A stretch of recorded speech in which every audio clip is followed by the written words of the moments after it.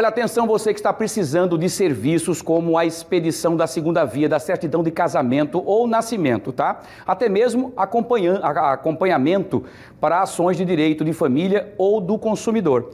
O programa A Defensoria vai até você. Ela está realizando esta semana atendimento gratuito em três bairros aqui da capital. A Maria Maciel vai nos trazer mais informações e detalhes sobre essas ações. Vamos ver.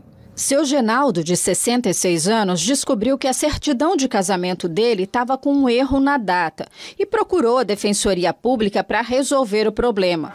Fui renovar a identidade, não renovei por causa do registro.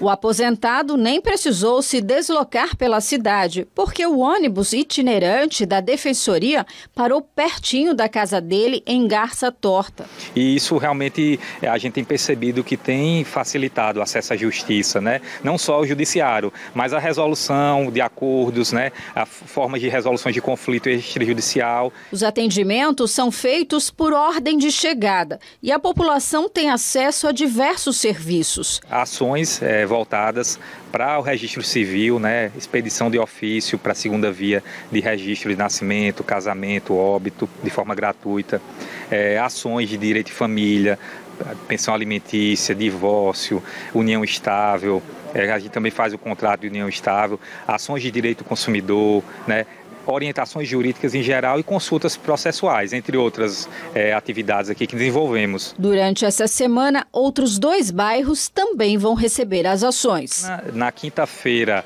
né, dia 29, estaremos no Bom Parto, ali a, no campo de futebol, atendendo as vítimas da Braskem. Né, vamos estar lá no período das 8 às 13 horas. E na sexta-feira, no Centro POP 1, que é o Centro de Referência à Assistência à População em Situação de Rua, que fica ali no Jaraguá, do, do lado da CESAL e também mesmo horário de 8 às 13 horas, voltado a especialmente a atender a população mais vulnerável, né, a população em situação de rua.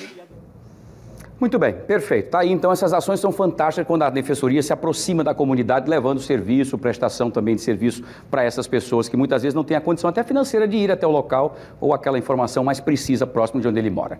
Parabéns, tá? E as comunidades também podem solicitar a unidade móvel da Defensoria Pública aqui do Estado. Basta que as pessoas entrem em contato através do Instagram ou na própria sede da Defensoria, que fica na Avenida Fernandes Lima.